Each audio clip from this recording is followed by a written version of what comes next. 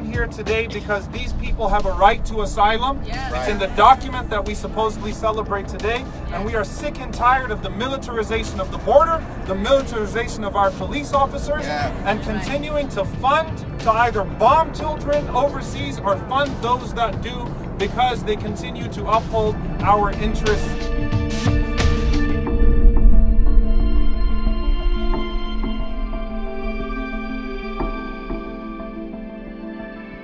Abraham was a migrant.